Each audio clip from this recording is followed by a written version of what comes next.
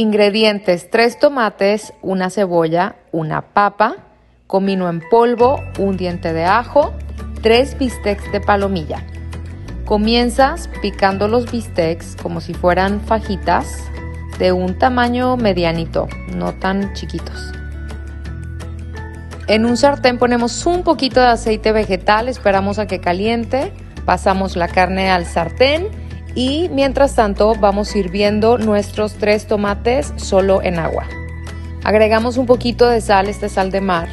Revolvemos bien la carne y la dejamos cocer a temperatura media. Pelamos la papa, la picamos en cuadritos de tamaño medianito. Se la agregamos a la carne, mezclamos otra vez un poquito para que la carne no se pegue y tapamos el sartén.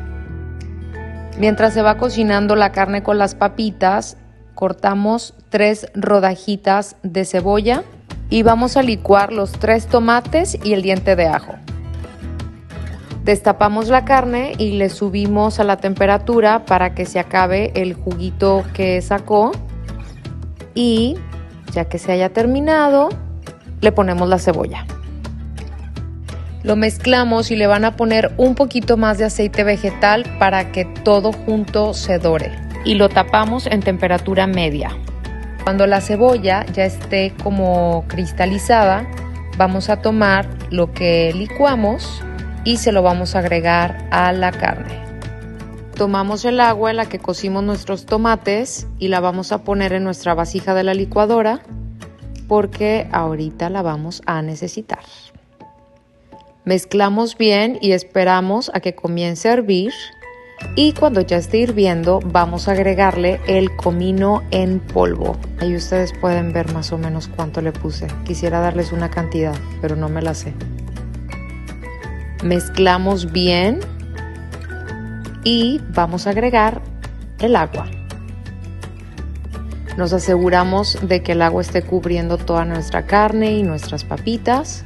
Este es el momento en el que podemos probarlo y me di cuenta que le faltaba sal, así que bueno, ahí como que al tanteo le puse. Lo volví a mezclar y lo tapé a temperatura media para que comenzara a hervir.